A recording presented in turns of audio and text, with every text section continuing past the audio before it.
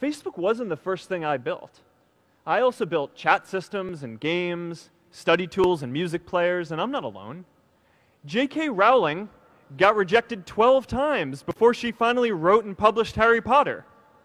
Even Beyonce had to make hundreds of songs to get Halo. the greatest successes come from having the freedom to fail. So I applied jobs for 30 times, got rejected. I applied for Harvard yeah. for 10 times, rejected. See, when KFC come to China, come to my city, 20, 24 people went for the job. 23 people were accepted. I was the only one guy.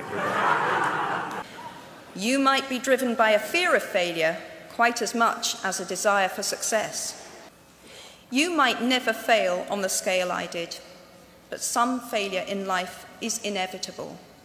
It is impossible to live without failing at something unless you live so cautiously that you might as well not have lived at all, in which case you fail by default.